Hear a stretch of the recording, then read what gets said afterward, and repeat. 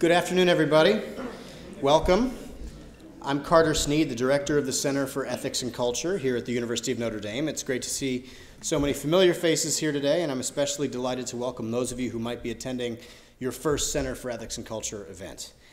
Today's lecture is part of the Center's Catholic Culture series, which focuses on prominent Catholic figures in literature and the arts in order to expose members of the Notre Dame community and beyond to the richness of our Catholic cultural heritage.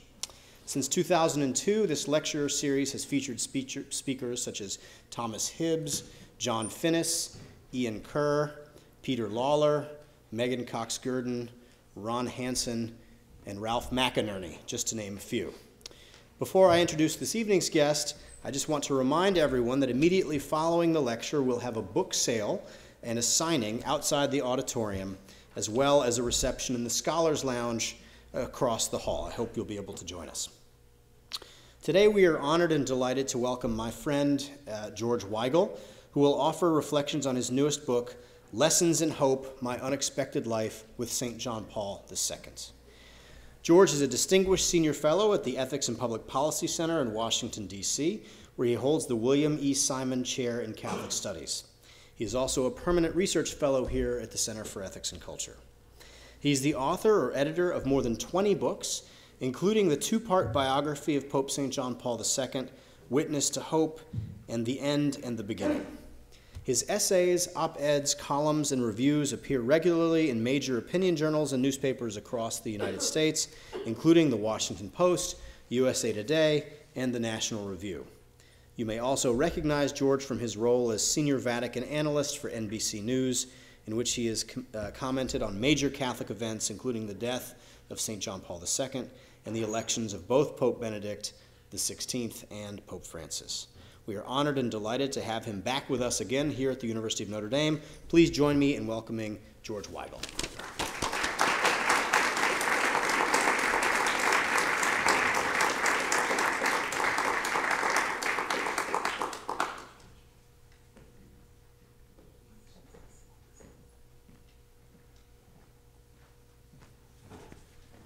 Thank you, uh, Carter, and good afternoon, everyone. It's a great pleasure to be back here. Uh, I, I, sense a happy atmosphere after yesterday's bowl game ratings came out. Uh, I commiserate with those of you who are Dodgers fans.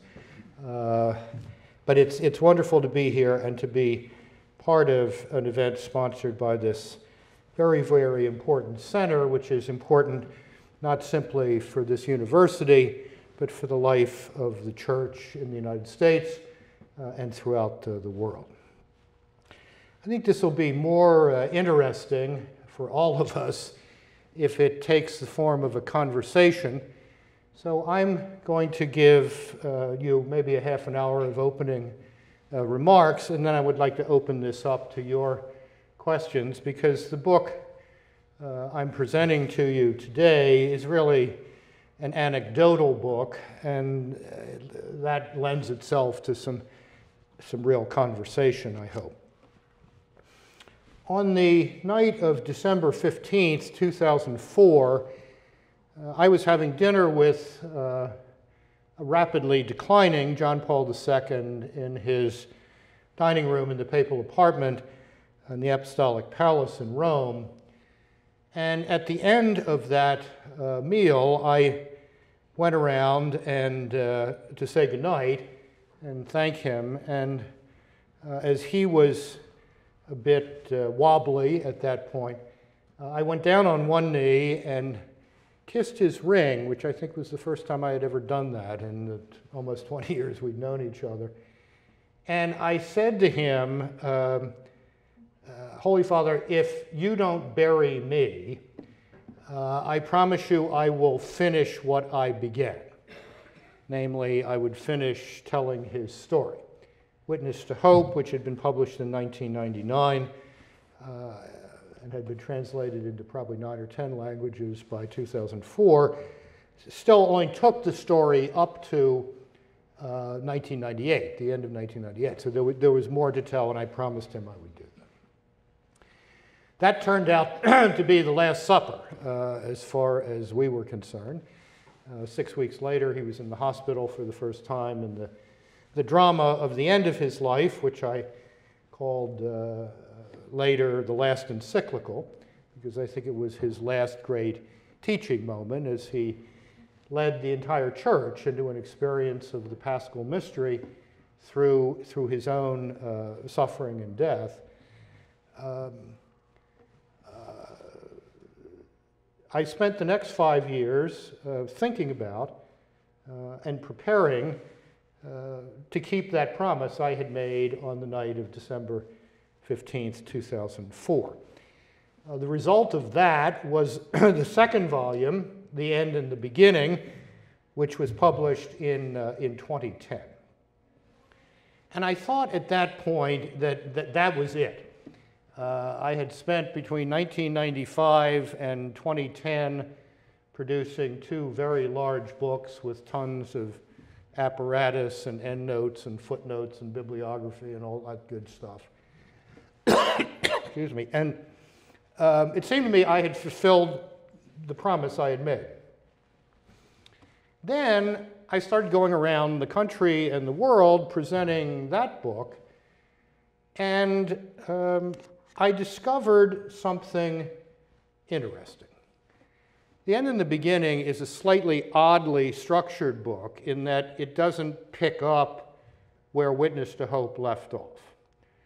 Uh, there is a different kind of first one third of the book, which retells the story of John Paul II, Karol Wojtyła's uh, fight against communism and the communist war against the Catholic Church. Uh, and I did that because uh, shortly after he died, uh, I was given a cache of materials from uh, communist secret police files. Uh, the Polish SB, the East German Stasi, the Soviet KGB, the Hungarian secret police, uh, which had, had only become available then as the archives of these evil uh, forces were being opened to scholarly investigation, and some friends of mine had made copies of various things they thought I might be interested in. This was such fascinating stuff that I thought, okay, I'm going to take the first third of the second volume and revisit the whole question of the war against the church and Wojtyła's role in uh, bringing that to a satisfactory and victorious conclusion uh, on the side of, of the right people. And yet, when I went around talking about the book, I found that people were not interested in that stuff at all. I mean, that's the stuff I thought was interesting in the book. I mean, here's all this really cool spook stuff, you know, uh, straight out of Ian Fleming or Dan Silva or whoever, and people did not want to talk about that. What, it, what they wanted were stories. Uh, he had been dead by, for five years at that point. I think there was a sense in some people's minds that he was beginning to, to drift away, uh, become less tangible. And people wanted stories that would, that would bring him uh, back uh, closer in. And the more I thought about that, uh, the more it occurred to me that that impulse, that instinct for wanting stories, was the same uh, spiritual instinct that uh, had produced those extraordinary popular uh, hagiographies and lives of the saints in the Middle Ages that were collected in, in one very famous multi-volume work by uh, Jacob de Voragine called The Golden Legend. Some of you may be familiar with that. And I thought, uh, perhaps I hadn't fulfilled my promise to him on that last night because I hadn't told all of the stories. Uh, and perhaps telling those stories would help people recapture a sense of him uh, particularly after the beatification and canonization. You know, when we beatify or canonize somebody, they tend to get put up on a shelf, and that's, that's it. I mean, they get iconized. Um, so, uh, I decided I would tell the stories, and that's what produced uh, this uh, third panel uh, in the triptych. Um, a, a, very different kind of book. There's not an endnote in it. Uh, I think there are only two footnotes. Uh, one of them has to do with classmates of Father Kimes here, and a student kitchen they ran in uh, the North American College in Rome. Um, but it's all stories, and I hope they are stories which illuminate facets of Karol Wojtyła's remarkable life uh, as priest, as bishop, and as pope in ways that really would not have been appropriate in, in these two vol volumes of scholarly biography. And the, the two leitmotifs that, that, that structure most of Lessons in Hope are drawn from something he said to me in March 1996 and something he had said 14 years before uh, in Fatima. In March 1996, I was leaving the papal apartment after a dinner conversation during which we had talked about uh, the ground rules, how, how, I would, how I would proceed for the next three years to produce what became Witness to Hope. And on the way out, the Pope said to me in a, in a wistful frame of mind, not angrily or aggressively, but almost wistfully, speaking of other biographical efforts, they try to understand me from the outside, but I can only be understood from inside. I can only be understood from inside. Um, that seemed to me about right. Um, as I relate in Lessons to Hope, the experience that had put it in my mind that I might attempt a biography of John Paul II was the experience of reading and then reviewing Tad Szulc's biography of the Pope, a truly dreadful piece of work excuse me.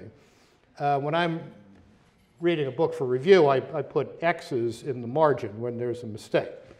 Well, by the time I got through with Szulc's book, it looked like I had been playing tic tac toe with myself, and I was X. I mean, it was just, uh, I, I, believe, I think it was Peggy Steinfels of Laetare Medal fame who said of that uh, book, this is like a biography of Michael Jackson written by someone who neither knows nor cares about basketball. Uh, you know, you're going to get a few interesting bits, but you know, you're not going to really get, get the, the gravamen of the person. Um, so, pondering that question of getting to John Paul II from the inside uh, meant understanding him in different terms than others had uh, tried to apply. Uh, it meant, in the first instance, understanding him as a radically converted Christian disciple.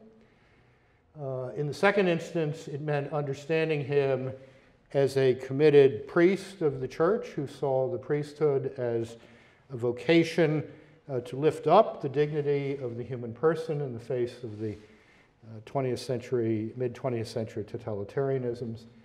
It meant understanding him as a bishop for whom bishoping was a heroic virtue.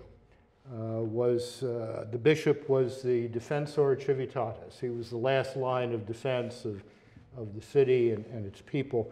And then understanding him as a pope from the inside meant understanding him according to the, the antiphon that was chosen for the psalm response uh, at his 40th um, uh, uh, no, sorry, 50th uh, anniversary Mass in 1996. Luke 22, 32, and you, Peter, when you have been converted, you must turn and strengthen your brethren. That was his idea of the papacy. The second thing he said uh, 14 years before that that had a profound influence on how I went about my work uh, happened on May 13th, 1982. It was uh, to the day one year since he had been uh, shot in his front yard, St. Peter's Square. And um, he had come on pilgrimage to the shrine of Our Lady of Fatima uh, to give thanks for his life being spared that day. And when he got off the plane outside of Lisbon to be driven to Fatima, he said in an almost throwaway line uh, in the midst of his uh, formal uh, remarks In the designs of providence, there are no mere coincidences. Now, the world may have thought it was completely coincidental, random, that uh, he had been shot on the liturgical memorial of Our Lady of Fatima, May 13th. He did not think of it in those terms. As he said, on many occasions, one hand fired and another guided the bullet. And uh, when one considers that a professional assassin was standing as close to him as I am to Father Kimes, firing at point blank uh, range and misses his abdominal aorta by one millimeter, which, if hit, would have meant he was dead before they got him uh, into the basilica, much less to a hospital. One begins to understand what he means. So those two remarks, I can only be understood from the inside. And in the designs of Providence, there no um, there are no coincidences. A, a coincidence is simply some facet of divine providence that we don't quite understand yet, we don't know how to put into the picture frame yet. Uh, led me to look at his life in a distinctive way, uh, which I think is unpacked in, in Witness to Hope in the end and the beginning. Uh, but it also led me to look at my own life uh, in a different uh, way, and I'll get, I'll get to that in a moment. Uh, but let me say a few more words about what it meant to try to understand him from the inside. It certainly meant trying to understand him as, a, as an intellectual, as a, a very intriguing hybrid uh, philosopher, the fundaments, the, the bases of whose philosophical system were the metaphysical and epistemological realism of Aristotle and Thomas Aquinas, but the superstructure of which was this very contemporary phenomenological method of, uh, of analysis. Uh, it made him a modern mind with a distinctively modern critique of modernity. Did not make him a pre modern mind. This was the mistake that the German speaking world made about him for uh, well, we're on to 40 years and they're still making the mistake uh, today. Uh, but even more importantly, it made him, uh, this, this living from inside out, uh, meant grappling with him as a man of uh, intense prayer. one example of this, which I, actually I did not put in the book, but which I think is relevant to the discussion here, uh, happened in the early years of the pontificate. John Paul II, like most Polish intellectuals of his generation, was a Francophile. Uh, he was deeply uh, immersed in French literature, French uh, thought, um, uh, and he was deeply concerned about the state of the church in, in France. You may remember that when he went there in an early pilgrimage, I believe in 1980 or 81, the first thing he said was, France, eldest daughter of the church, have you forgotten the promises of your baptism? Little in your face there. Um, now, how to turn that around? He had become very impressed at a distance with a remarkable character whose original name was Aaron, as in the brother of Moses. Uh, and Aaron Lustiger was the son of Polish Jewish emigres who had come to live in France in the 1920s. He had been born in France during the Second World War. His mother was uh, killed at Auschwitz. His father died shortly thereafter. And during the war, while he was hiding with a Catholic family, he converted to Catholicism and took the Christian name Jean Marie. And that is how those of you who know him know him as, as Jean-Marie Lustiger, although if you go to his tomb in Notre Dame in Paris today, the slab says Aaron Jean-Marie Lustiger. Okay, here's this really quite striking character. Consider this. In a lecture hall at the Sorbonne in the early 1950s, there were two young men sitting in the same lectures, perhaps even on the same bench, uh, who were both not native Frenchmen in, in the normal sense of the term. One of them was Lustiger, and the other was a Cambodian intellectual named Pol Pot. Now, if you wanted to write the great novel of the 20th century, you begin with that scene and then you can just unfold. I mean, it's Tol- with Tolstoy, where are you when we need you here, right? Um, uh, after finishing his undergraduate studies, enters the seminary and then becomes the chaplain of the Sorbonne, where he meets a remarkable group of young people, some of whom uh, come to the center occasionally, Remy Brague, Jean-Luc Marion, etc. And he has been made the Bishop of Orleans in, uh, in France. Uh, and uh, the Archbishop of Paris, Francois Marty, um, uh, is past the retirement date. And so they have to pick, Pope has to pick a new Archbishop of Paris. And the usual list comes in from the usual suspects that he doesn't like any of this. And he decides that he is going to take this Polish, Jewish, French bishop from Orleans and put him in Paris because he thinks he's got the intellectual chops and the spiritual depth to deal with this desperately uh, difficult uh, situation.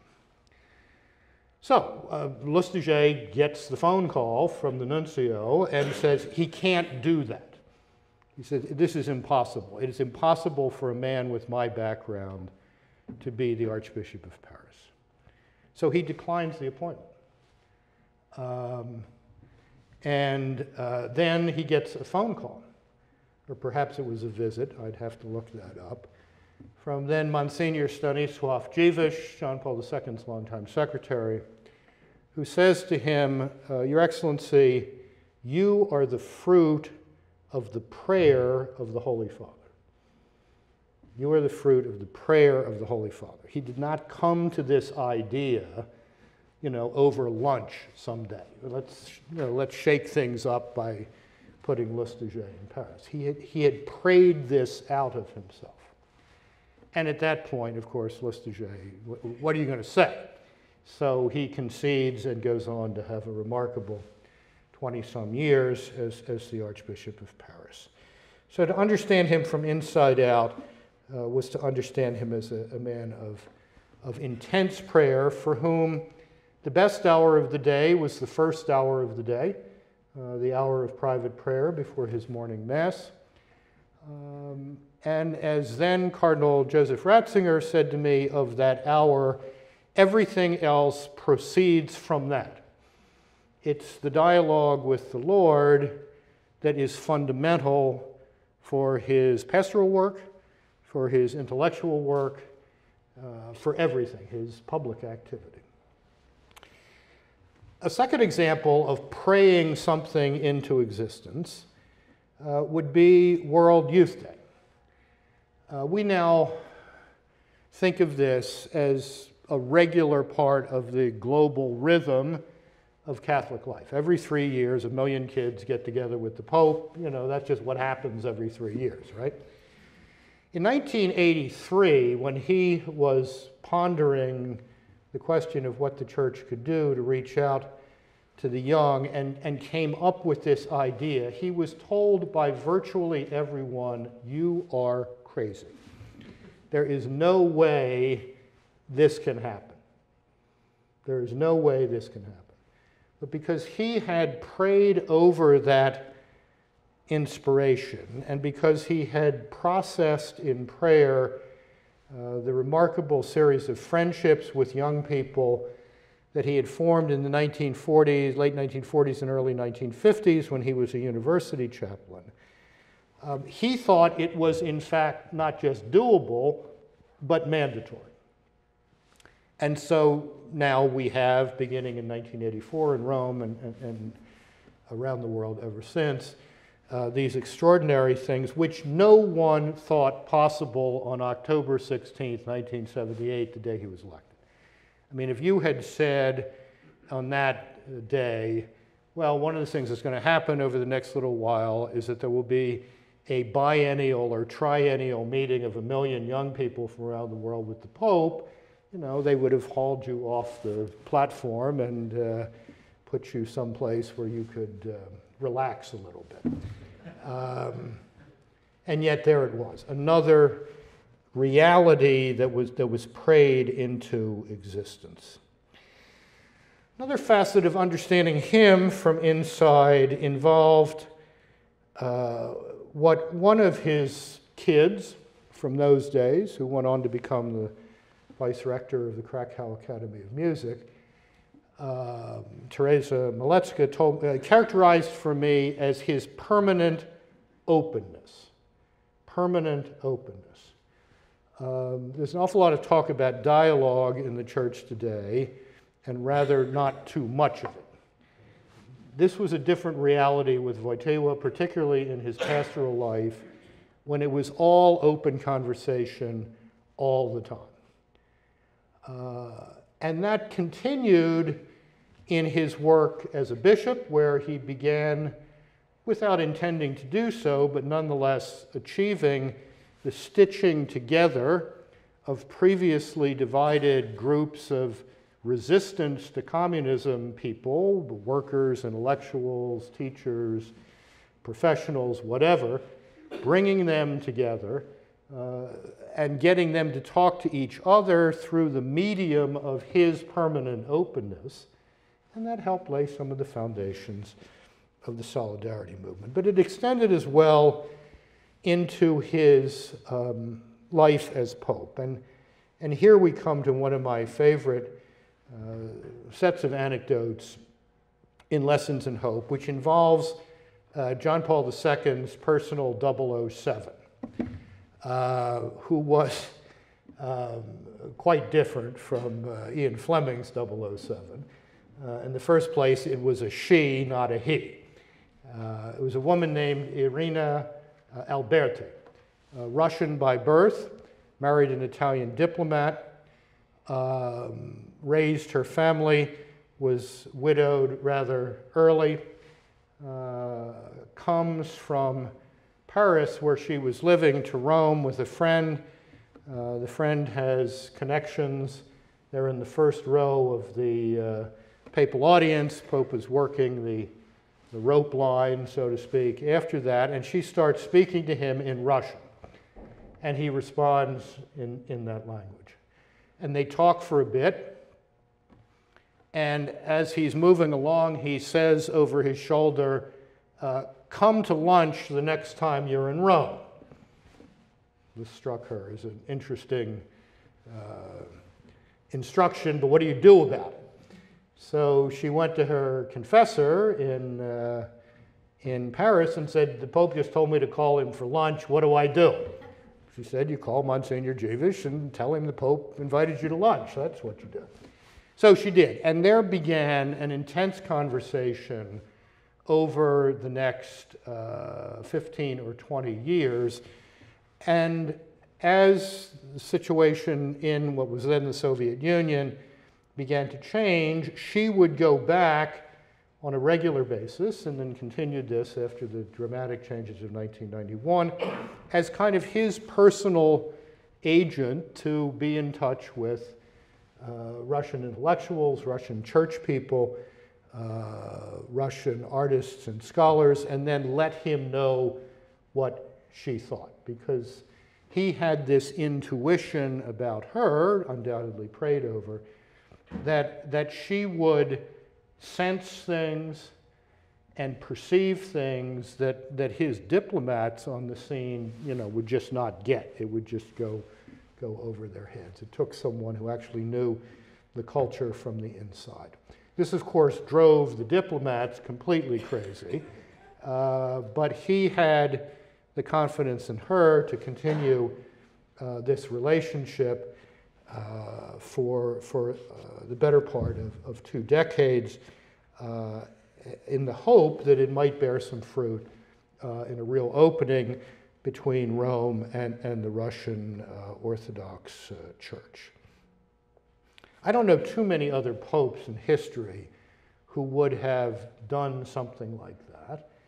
But it was another facet of this permanent openness. He was open to inputs from people who were not professional church people and who might have disagreed with him about things, uh, as in fact Mrs. Alberti did on a number uh, of points. Um, but that permanent openness kept a kind of permanent freshness to the pontificate uh, that I think was evident right up until the end. The other uh, facet of learning him from the inside that I try to bring out a little more clearly in, in this book is what I would call a genuine pastor's heart. Uh, he never forgot that he was a priest. He never forgot that he, he was a pastor. And, and the most dramatic um, uh, evidence of that, in, in my case, uh, was at that last dinner on December 15th, 2004. Uh, my father had died on October 19th of that year. Uh, the Pope had sent a telegram uh, to be read at the uh, funeral. Vatican, I think, is the last place in the world that still sends telegrams, um, which was very nice, but it had been almost two months. He was in very difficult physical circumstances himself. And yet, when I walked into the dining room that night, uh, the first thing he said to me was not hello, good evening, uh, Buon Natale, or whatever. Uh, he said, How's your mother doing? First thing he said to me How, How's your mother doing? I mean, great, great pastor's heart and uh, memory. There's one other episode from that evening that's uh, uh, perhaps amusing to relate.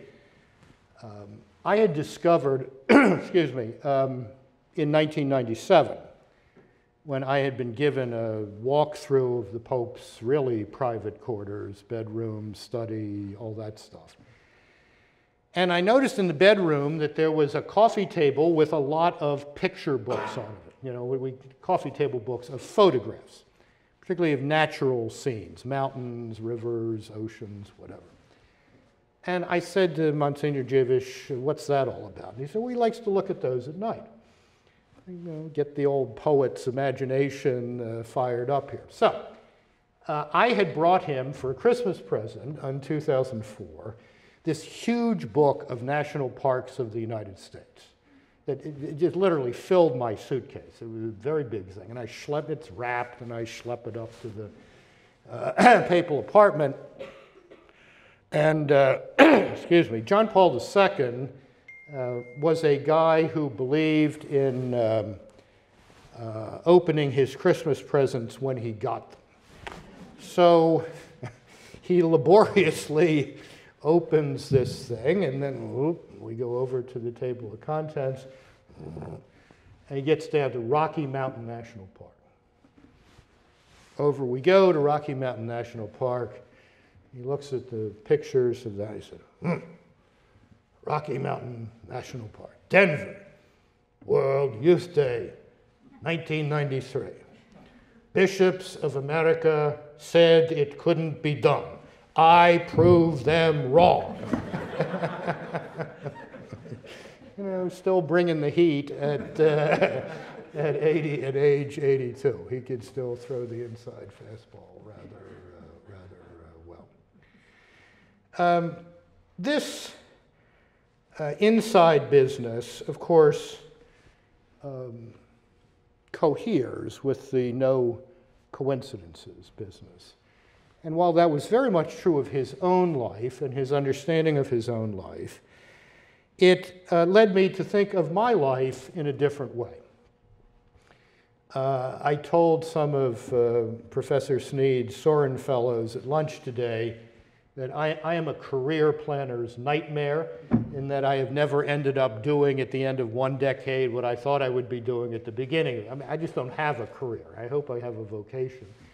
Um, and following instincts like, you know, you ought to write the biography of John Paul II um, has been part of that vocational uh, living. But, but doing that with him led me to see what might have seemed utterly random things in my previous life as, as remote preparations for this 15 years of work on, on two books. And the um, uh, Lessons in Hope actually begins with the first of these, uh, which takes us to uh, Baltimore, where I grew up, in the old cathedral school, and it's about to be Lent 1960. Now, I understand for some of you that sounds like the uh, Jurassic period, 1960 here. It wasn't that long ago. But in any event, I'm in the third grade.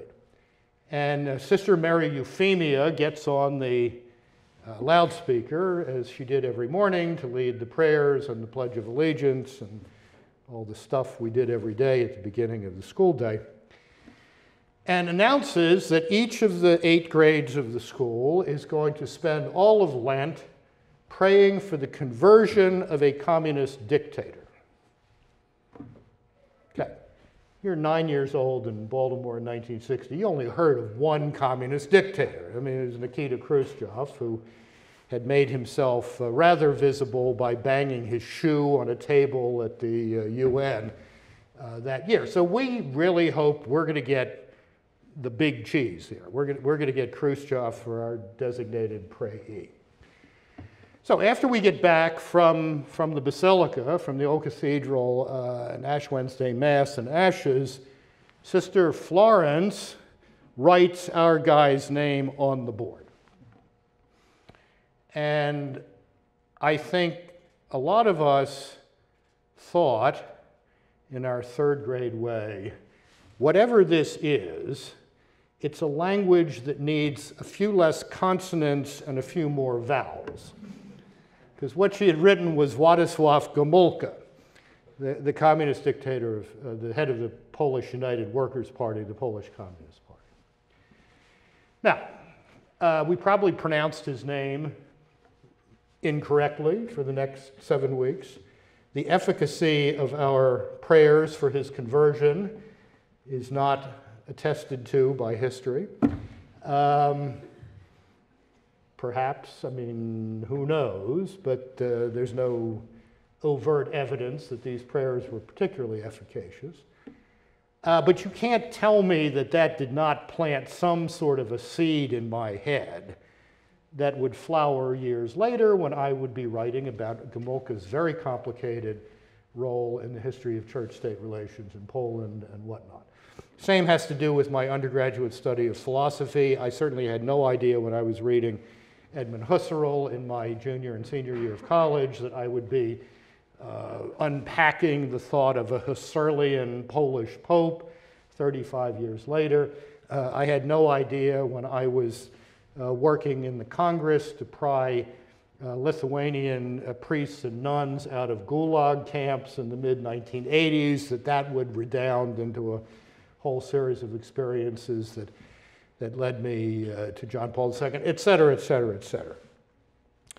So I came to understand myself uh, in a different way uh, through the prism of his insistence that in the designs of providence there are no mere coincidences. And so the first third of this book is a series of, of vignettes of, of these seemingly completely random things that happened to me over a period of of 40 years that nonetheless were one form or another of preparation for uh, taking on the task of being John Paul II's uh, biographer.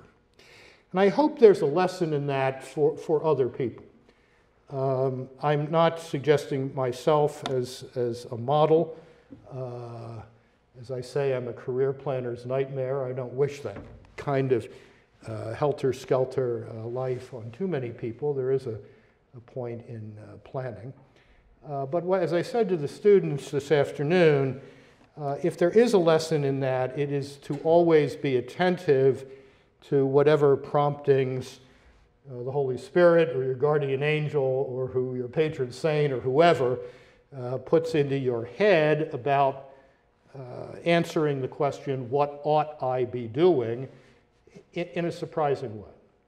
Be open to the surprises, as, as indeed he was, and as I have found uh, in my own life, is a, is a fruitful and um, uh, spiritually enriching uh, way to live. Um, last note, and then we can, we can talk about all this a bit. Um, uh, when uh, the Pope was canonized, I got a call from the then op ed editor at the Wall Street Journal saying, We want you to write the, the big op ed piece for the day before the canonization.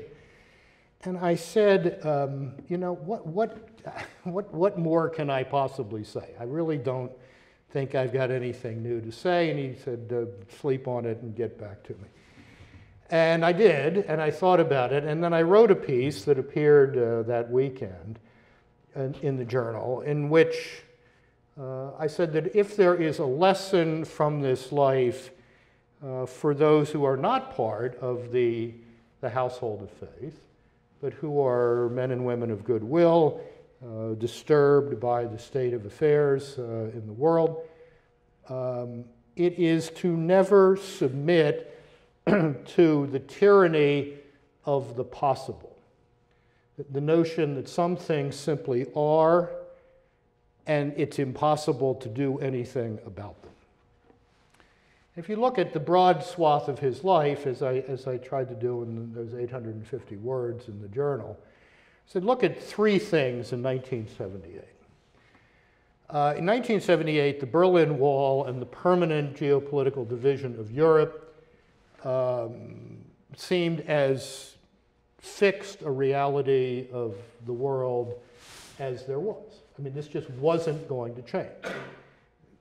And people's accession or acquiescence to that notion that things couldn't change is what I called the tyranny of, of the possible. And yet, 10 years later, 11 years later, the wall was down. 10 years later, it was, it was crumbling. Uh, in 1978, when John Paul II was elected, uh, no one thought uh, young people were interested in the Catholic Church. As we've already reviewed in, in thinking about the emergence of World Youth Day, that tyranny was decisively overthrown uh, by uh, this man and his conviction that uh, the music might be different, but the human yearnings and longings for an integrated life and living with a whole heart uh, remain the same that he had encountered uh, 40 years before. And, and the results are, are quite colossal. Uh, and the third thing I mentioned was uh, no one in 1978 uh, thought the Catholic Church had anything to say to the sexual revolution except we surrender. Uh, a view not without prominence on, on certain Catholic campuses at that time. Uh, he thought that was another surrender to the tyranny of the possible. He writes the theology of the body. Marriage preparation work throughout the living parts of the Catholic Church is fundamentally transformed.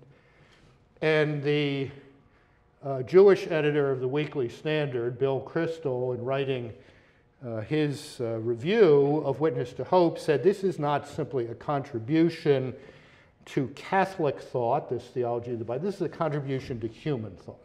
This is a contribution to human civilization. Nobody expected that in 1978. But he refused to submit to the tyranny of, well, that's all that's possible. You know, live with it, get along with it, etc. Uh, we're at a moment of some air turbulence uh, in the country in the world, uh, in the church. I think it's good to keep that in mind. Uh, don't submit to the tyranny of it has to be this way. And let's also remember that whatever air turbulence, particularly in the church, that we experience today, this is not 1978. There was a 35 year period of solidity which has put us in a much stronger position to work through uh, the challenges of the present moment, including what I think one has to say is the utter collapse of the Catholic reality in the German speaking uh, parts of the world and in the Low Countries and in large parts of France, uh, but also the challenges we experience here in the United States, in Canada, uh, from uh, the pressures of the dictatorship of relativism. We're in a much better position to address that today than we were uh, almost 50 years ago, 40 years ago. We're, we're in a much stronger position, and places like the Notre Dame Center for Ethics and Culture are the living uh, embodiment of that. This didn't exist uh, back then either. Uh, this was a fruit of, of that renaissance, and we should not forget that as we address uh, some of the challenges we experience today. Thank you.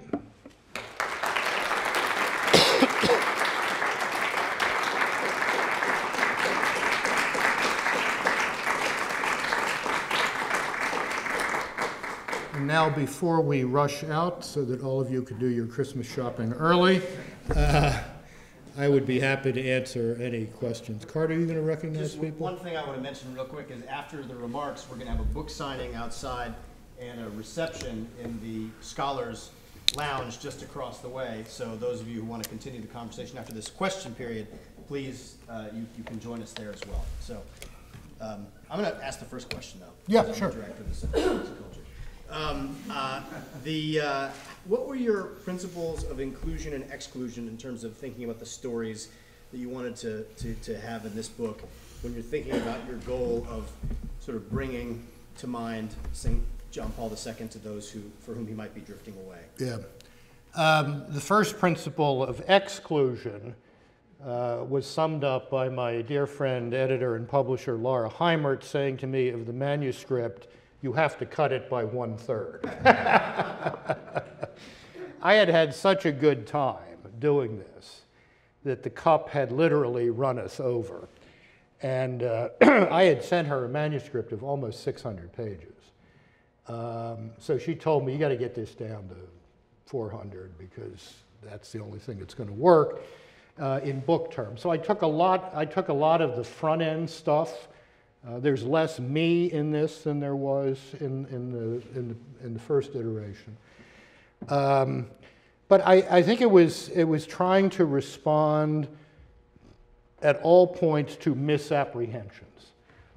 This is a guy who didn't understand. This is a guy who lived in his own little orbit. This is a pre-modern mind. You know, go through the whole list. So what are the things? And then some of them are just really good stories. Um, we will mark next week the 100th anniversary of the Bolshevik expropriation of the Russian People's Revolution and uh, by Lenin and company. Well, there's just a wonderful story that I could not not put in this book about one night. We are talking about the Pope's play, Wojtyła's play, Brat naszego Boga, Our God's Brother, about St. Albert Chmielowski, who's this kind of avant-garde artist turned radical Franciscan uh, Poverello who's working with the poor in, uh, in Krakow in the late 19th, uh, early 20th century. And there's a character in this play called the Stranger. Just doesn't have a name, just called the Stranger. And the Stranger um, is a political revolutionary. And he too claims to be on the side of the poor. And so the Brother Albert figure and the Stranger go at it uh, argumentatively throughout the play. Uh, it's in a sense Wojtyła working out his own thoughts on revolutionary violence, nonviolence, etc. Well, people had thought for a while maybe this is Lenin, because there was a story. I mean, Lenin was certainly in Krakow during that period, um, and there was some indication that he had lived for a while in Zakopane, the big town in the Tatra Mountains. So I said to the Pope over dinner, um, we were talking about this play, I said, Is the stranger Lenin? Just came out and said it. And he said, Is crypto Lenin? And then we said, uh, which meant it's Lenin. Uh, and then we started talking about this possibility that, that Lenin and Albert Chmielowski, later to be canonized by JP2, had met in Zakopane. And he said he thought it was true, and he had seen the house where Lenin had lived there, where this meeting had taken place. And then, then the Pope said, You know, the Austrians arrested him there, meaning Lenin, the Austro Hungarian. And I said, Well, it would have been a lot easier for everybody if they just held on to it. and, you know, the, Pope and Dziwisz and Bishop Rylko all kind of, you know, at the same time because they clearly shared that uh, view. That was too good to leave, uh, leave out. So the chuckle value was a principle of, of inclusion here uh, as uh, well. Yes, Father Krause. I, I was going to, your suggestion that you only wrote three books on Pope John Paul II, Witness to Hope, the, uh, the, the, the credo, the, uh, the lessons of hope, and the end of the beginning. But I say the first book was the final revolution. Right. How 70 years of Stalinist tyranny would collapse. And what I like, what I wanted to ask you about, when General, I, I, I recall the major focus in that first book, 70 years of Stalinist would collapse, was in, in chapter two, the virtue of prudence, calling good and evil by name. In chapter three, the virtue of justice, Catholics and the commissars, human rights. Chapter four, on courage, the virtue of courage. And then how, you know, how that kind of, the, the, the chapter seven, the, the, the virtues. Yeah. No monopoly, faith, hope, charity, the key cardinal virtues. No monopoly, they belong as much to, you know, the Sure. Catholic, the- I call it the Catholic version of the common moral tradition. But I love how you follow up on that in these latter books. Uh, on, think, when I need help as a, as a struggling to be honest Christian Catholic, and of course, the, all the confusion of the culture, I really do go back to John Paul and those who work with him, Benedict and others. And, you know, I think a, a quick way as well, Jay, that they could survive the Stalinist terror, that you and I could survive what we're in. And then ironically, what I focus on, your, on the, I call it then your second, third verse, uh, books on John Paul were The Witness to Hope, Rooted in Faith, which nurtures a greater charity. Mhm. And I love the way you put it too in a number of places. It, it normally happens at the interior family life, in family life. The basic social units, where, you know, fathers and mothers and babies and kids and grandmas and grandkids and so forth. And all over the world, wherever. So that focus, I, I think too, I was gonna ask if, if, you know, I can only stand John Paul from the inside, not the outside, understanding.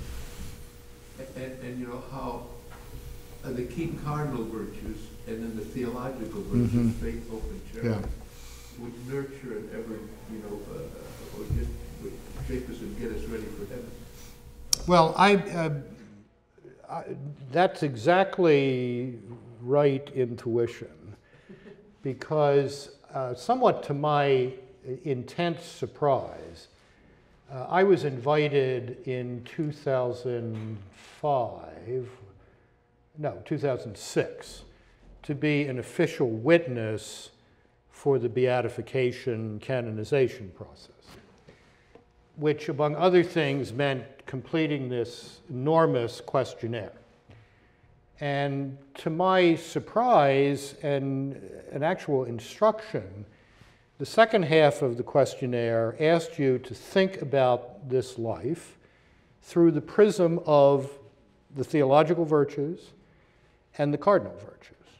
So there were, you know, four or five questions on faith, four or five questions on hope, four or five questions on charity, four or five questions on prudence, justice, moderation, and courage. And I found that such an intriguing way to kind of reframe the whole life that I adopted that as the framework for the last part of the end and the beginning when I do a much longer evaluation of the man and his accomplishment than I could do when he was still alive uh, and Witness to Hope came out. So you, you discerned exactly the right uh, framework uh, there. Um, You know what I love too there? The way you just summarized it for us today, and how do we not only survive and thrive in other ways, but going back to what, what he put on paper, I think you mentioned uh, the splendor of truth, hmm. the gospel of life, the letter to families. And I love, you know, what I love, what you have in your book, when, when he, what inspired me as much as anything he put on paper, the example, was in the latter stages of his life, how he was suffering and dying, and you took, took that, at, at, you know, the end and the beginning. And, and you know, the, the, uh, his, his letter, his, he wrote the letter to, the letter, the Christian meaning of human suffering, after, after the yeah, assassination. yeah. But then that came back at the end of his life, giving Right. us more than an example of, uh, and then of course, the, like the way you just cited a few moments ago, theology of love, sexual Mhm. differentiation, Mhm. complementarity, and how important that is for all of us to survive the contemporary disorder in culture. I mean, I, Back to the basics. yeah. Tell you one uh, more story from that uh, uh, witness uh, process. Um, after this, this long, complicated series of questions on uh, thinking through this life through the virtues, there was, there was uh, a section at the end, sort of other questions. And, and one of the questions was Have you ever seen a depiction of the servant of God? You know, the title we give to people who are en route to beatification. Have you ever seen a picture of the servant of God with a halo? So I called up the postulator, the priest who was in charge of this, who had become a friend uh, at that point. He was a Polish canon lawyer in Rome. And I said, Sławek, what on earth is question number 124? What was this halo business? And he just laughed and said, Well, that's actually a, a, kind of leftover from the old medieval inquiry into that the guy called the devil's advocate would, would, would do. Because it was thought back in the Middle Ages that the premature depiction of someone with a halo before they had been officially beatified or canonized might be a sign of satanic influence. So I thought about that and I said, well, if I were you, I would send a telegram to every grandmother in Poland telling her to erase the halos that she has already written on the uh, five portraits of John Paul II she's got in her house. I mean, this is, this is going on all over the place here. Um, so, there we are virtues and halos. Yes, ma'am, back here.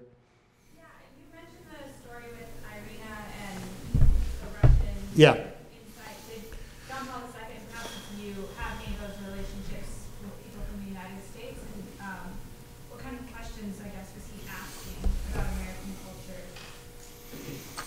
Well, I, you know, um, he, we certainly talked about that with some frequency. Um, he was a keen reader of First Things. Uh, Dziwisz used to read First Things cover to cover, and then every month, Father Neuhaus would get a kind of report card on the magazine from, from uh, Dziwisz. Um, uh, I think he, you know, he listened to the bishops of the United States. I mean, particularly the ones that he thought had uh, a real insight into things. Um, uh, and some of his appointments, I think, uh, reflected that willingness to, you know, to think boldly. Uh, John O'Connor to New York after six months as Bishop of Scranton, Pennsylvania. Uh, Francis George to Chicago after nine months as Archbishop of, of Portland, Oregon, and a few years as Bishop of Yakima. Um, these were men he, he you know, took their read on things uh, seriously. Um,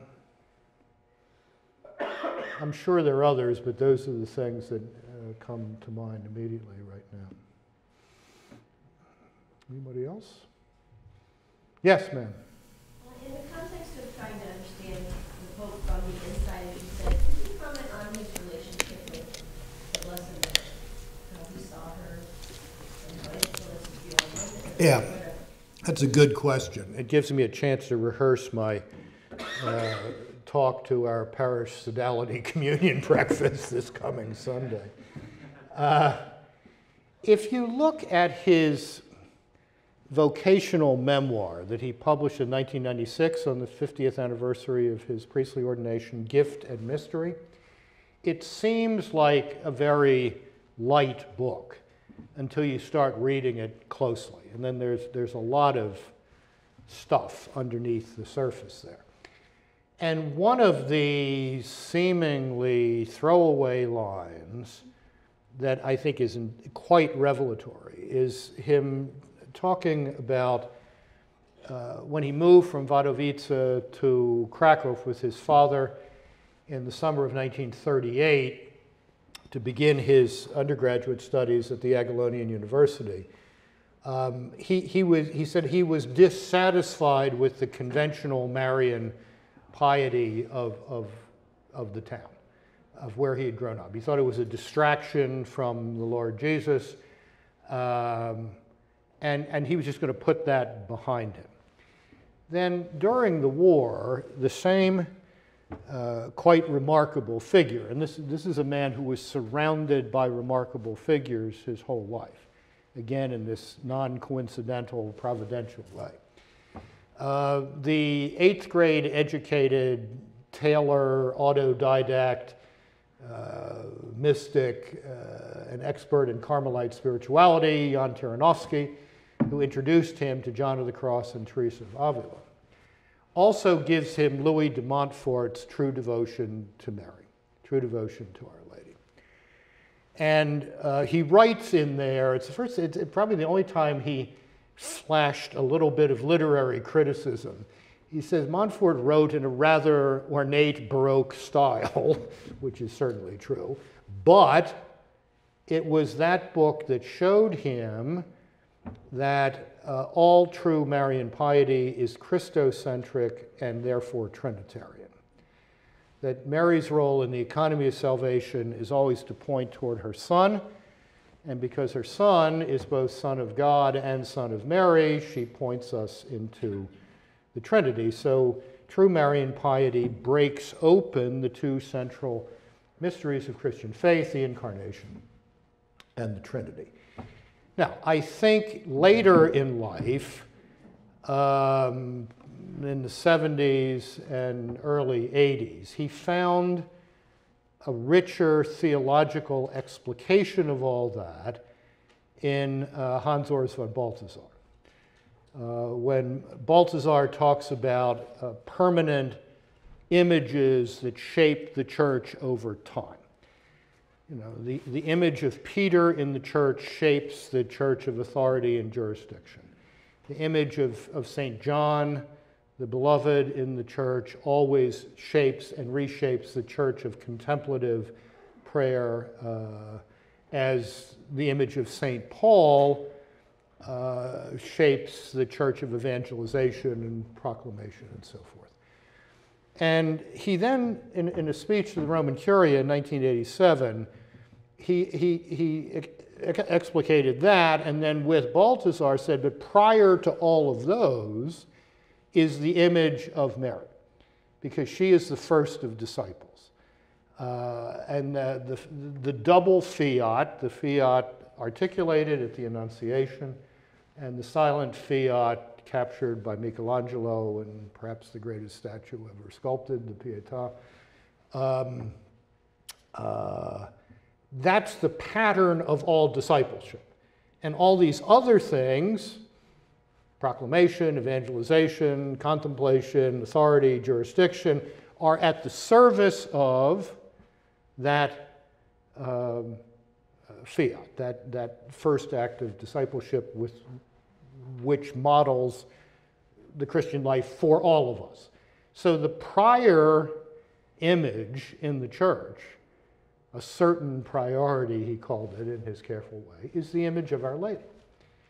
Uh, and that's more important, in, in, a sense, than all of the others. And the others only make sense uh, because of that.